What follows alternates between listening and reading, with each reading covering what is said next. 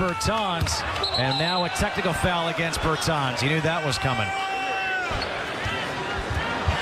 Bertans, I mean, he's feisty, isn't he? Wizards foul called against number 42, Davis Bertans. His fourth personal foul. Looks like he has a, has a point there, Bertans. Let's see if he was vertical on this. Yeah, it's, it's kind of tough right there. The